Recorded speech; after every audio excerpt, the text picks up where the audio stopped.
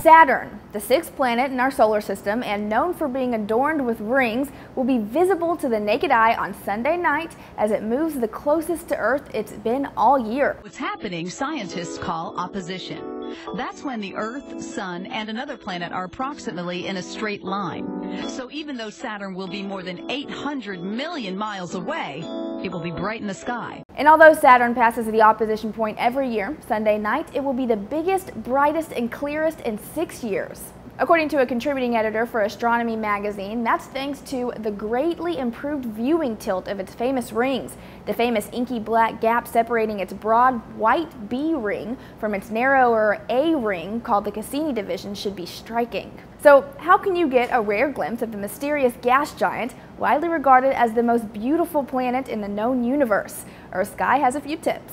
But the trick to actually finding Saturn is to first find the star Spica. It is the brightest star in the sky and part of the Virgo constellation. To find Spica, you just let the Big Dipper be your guide.